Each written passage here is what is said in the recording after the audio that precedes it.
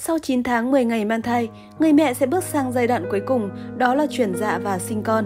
Do căng thẳng, đau đớn trong quá trình chuyển dạ nên nhiều người mẹ thường không giữ được bình tĩnh, mắc những sai lầm khiến việc vượt cạn càng khó khăn hơn. Mẹ bầu nên bình tĩnh, tuân theo chỉ dẫn của bác sĩ và tránh mắc 7 sai lầm dưới đây, kẻo sẽ càng đau đớn mất sức hơn. 1. La hét khóc lóc La hét hay khóc lóc là phản ứng sinh lý bình thường khi cơ thể phải chịu cơn đau. Tuy nhiên, vì cơn đau đẻ sẽ đến từ từ, tăng dần cấp độ nên mẹ hãy cố gắng làm quen, bình tĩnh, tránh việc la hét vì nó sẽ làm mẹ mất sức, gián đoạn nhịp thở, còn gây mất tập trung cho y bác sĩ. 2. Nhắm mắt nhiều người mẹ cho rằng việc nhắm mắt sẽ giúp mình bình tĩnh hơn và dễ tập trung hơn vào nhịp thở để giãn sinh. Tuy nhiên, nếu nhắm mắt khi sinh con, mẹ sẽ dễ bị chóng mặt và không theo dõi được hướng dẫn của bác sĩ. 3. Dùng sức khi không có cơn co Cơn co tử cung luôn mang tính chất chu kỳ. Khi cổ tử cung đã mở hết và em bé sẵn sàng ra ngoài thì số lượng cơn co trung bình sẽ là 3 cơn trên 10 phút. Khi cơn co đến, mẹ sẽ có cảm giác đau đớn, bụng cứng lên, sau đó cảm giác đau sẽ giảm dần. Đó là khoảng thời gian cho mẹ tạm nghỉ và hồi sức.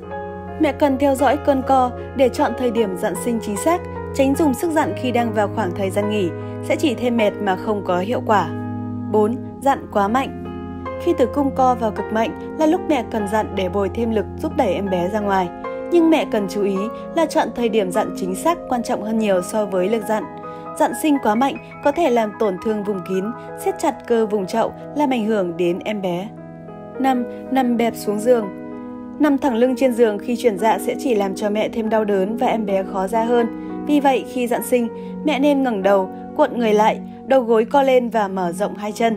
Ngoài ra, mẹ có thể hỏi ý kiến bác sĩ về tư thế quỳ gối khi sinh con cũng rất hiệu quả. 6. Nín thở Khi dặn sinh, nhiều mẹ có xu hướng nín thở để lấy thêm lực. Tuy nhiên, thực tế, việc mẹ nín thở rất nguy hiểm vì nó làm gián đoạn oxy cung cấp tới thai nhi. do đó thay vì nín thở, mẹ hãy hít sâu, thở mạnh theo đúng nhịp hướng dẫn của bác sĩ. 7. Tập trung lực lên mặt khi sinh con, mẹ cần tập trung lực vào phần dưới của cơ thể để siết cơ sàn chậu lại, chứ không phải tạo lực lên mắt, mặt.